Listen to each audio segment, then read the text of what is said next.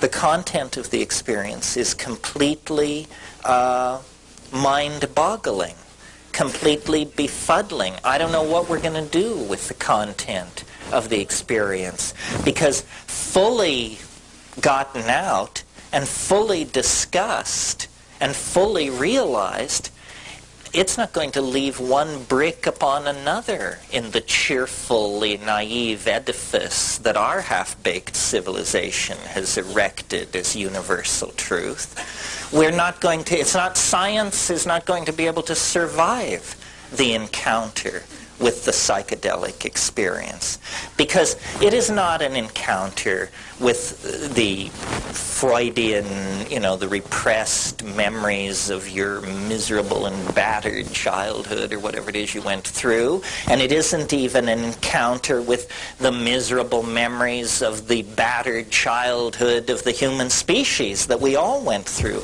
a la Carl Jung. Uh, what, that is all there but that's in the hallway where you hang your hat and the antechamber where they take your coat. The main event, folks, doesn't even have anything to do with the psychology of human beings. The main event is another dimension a dimension so bizarre, so titanically peculiar, so strange, so unanticipated by our language, our history, our literature, that uh, it is literally like the discovery of another world. And, and, uh, and there's life in that world. Now, a funny thing about discovering new worlds is that uh, you usually, when you get the new world all mapped out, you usually discover that there's somebody living there. And for them, it's not the new world at all.